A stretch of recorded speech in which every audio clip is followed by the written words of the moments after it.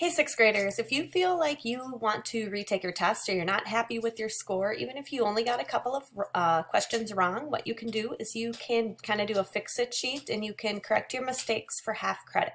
So I'm going to show you how to do that real quick. All right. So from Schoology, you will um, go to the agenda and you'll click right here. And that will bring you up to this sheet okay? And it has all the directions on here. Um, it says open the attached document. Open up your test in Schoology and review your test. Look specifically at the ones you got wrong. So what you'll do is you'll go into Schoology. You will go to your test.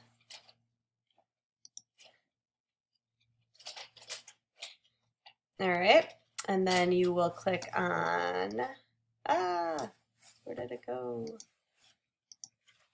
Sorry, you'll click on where it says view and you should be able to see your whole test and see which ones you got wrong. So you can leave the ones you got right. Don't worry about those. Scroll down to the ones you got wrong. So like this one, number 10. And everybody's are numbered differently. So um, your number 10 may not be the same as your friend's number 10. Okay, so you're going to look at that question and try to figure out what the right answer is. Okay, um, you can use all of the notes I have linked here if you're not sure how to find the right answer. Um, and then you'll open up this document, which I apparently do not have access to. Hold on, it should work now. Okay, so um, here's the retake sheet. So what you'll do is you will um, go through it and you will write down the number of the questions. So if this was my test right here, I would um, write number 10, and then I would copy down this question onto the sheet, okay, where it says write the question.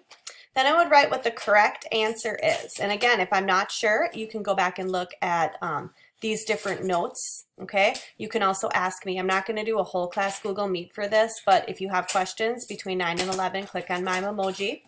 Okay, and you're also going to explain how you got the correct answer. So you're not just going to say you looked in your notes. How did you know that? Or what's like a fact about it that makes you know that that's the correct answer?